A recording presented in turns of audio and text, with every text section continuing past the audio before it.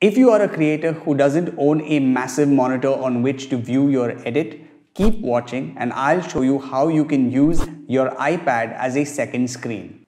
For this video, I'm going to be using the 16-inch MacBook Pro as my primary screen and the iPad Pro as my secondary screen.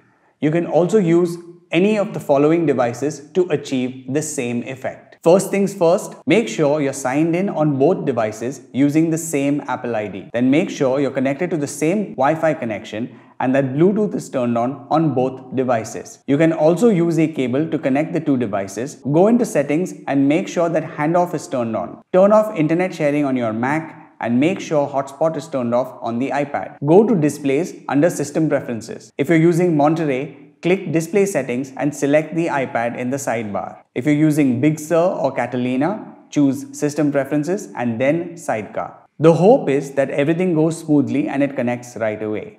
If that is not the case like it was for us, restart both devices. Turn handoff, Wi-Fi and Bluetooth off and on again. AirDrop a photo from the iPad to the Mac and try again. Don't ask why, but sometimes this solves the issue. Once the two devices are linked, simply drag a window from the first screen to the second one.